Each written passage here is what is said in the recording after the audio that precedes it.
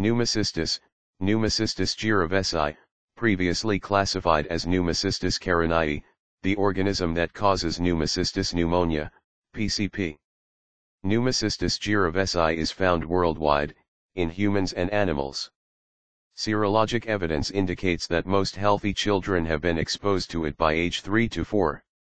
Pneumocystis pneumonia, PCP, occurs in immunosuppressed individuals and in premature, malnourished infants.